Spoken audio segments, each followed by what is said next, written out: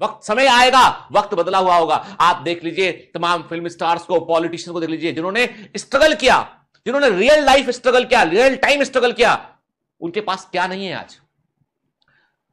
हो सकता है आप में से कई लोगों को शाहरुख खान पसंद ना हो, पर मुझे पसंद है शाहरुख खान। मैं उसके अचीवमेंट उसकी सक्सेस स्टोरी को देखता हूँ, मुझे लगता है एक आदमी ने दिल्ली से बॉम्बे में आके इतना स्ट्रगल करके कहाँ से वो कहाँ पहुँच गया वो?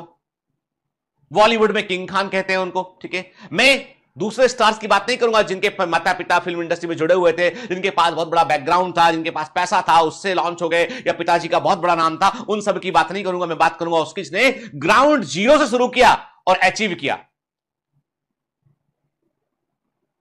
अभी एक नहीं है हमारे बीच में सुपरस्टार जो है, वो वक्त के होने, आने वाले वक्त के स्टार होते सुशांत सिंह राजपूत। उन्होंने बहुत कुछ अचीव किया अपने स्ट्रगल के ज़रिए। हम मानते हैं कि जो जो नए यंग यंग स्टार्स में कार्तिक आर्यन को देख लीजिए, कहाँ वो कॉलेज में पढ़ने आए थे, नवी मुंबई के कॉलेज में, और कहाँ से कहाँ स्टार पहुँच बन गया व्यक्ति। तो जो स्ट्रगल करता है, चाहे वो आप क्रिकेटर में बात कर लीजिए, आप विराट कोहली की बात कर लीजिए, आपके विराट कोहली विराट कोहली बने, लेकिन अर्जुन तेंदुलकर विराट कोहली नहीं बन पाए। जबकि वो महान क्रिकेटर के बेटे हैं। तो विरासतें चला नहीं करती लंबा।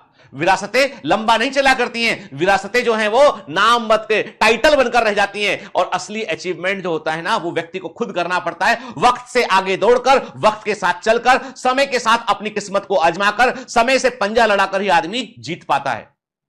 तो मैं इतना ही बोलूँगा आपसे मैं कि समय का सदुपयोग करो।